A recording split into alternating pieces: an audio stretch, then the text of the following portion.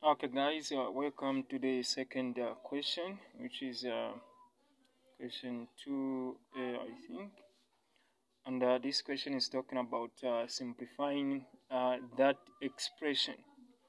Now, when you look at the expression, we have question 2a. It's saying m squared minus 1 over m squared minus m. So, we are saying m squared minus 1 divided by um, divided by m okay minus m. Let's see if I'm not mistaken okay. So correct m squared minus 1 m squared minus m. And um, what you need to understand is uh, first of all we have to recognize what is happening and look at on top this is what you call difference over 2 square. Um, difference of square okay? So look at uh, the middle. So that's the difference okay? So we can try to factor out one um, maybe 1 to the power 2 so this is going to be uh, m squared okay? Minus 1 squared okay so this is going to be over m squared minus m minus m. So this is going to be m, okay, minus 1, then m plus 1, okay. Uh, divide by, now you on this part, down part, you factorize. So what is common between m squared and m? it is just m. Then open bracket remain with m. Then m to m just 1 then you close the bracket. Save that. So I have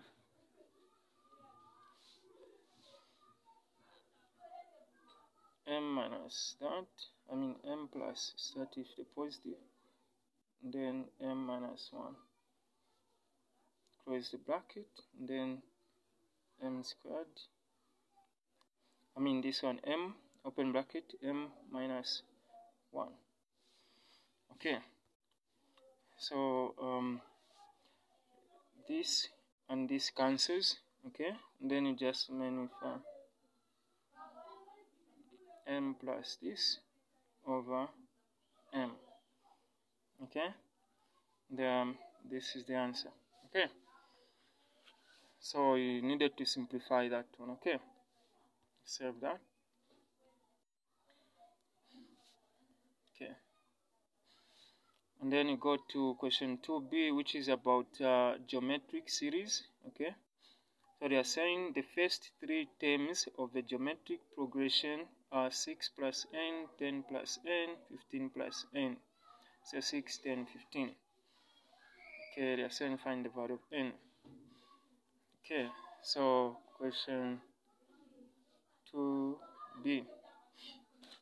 Okay, so this is going, they're saying 6 plus n plus 10 plus n, then uh, 15 plus n. So find now the find n. Okay.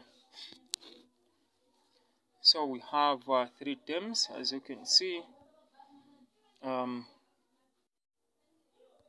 you have three terms what you can do is um, the first term is this one the first the second term is this one the third term is this one so what you're going to do is uh, it's more like we are finding our okay you're going to say the first second term divided by first term.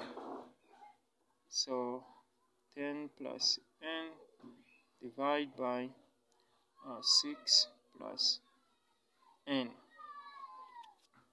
Okay? And then uh, we can keep on going. So we are kind of making a pattern right here. So what is gonna happen is that um, um, 10 plus n over uh, 6 plus n equals to third term is uh,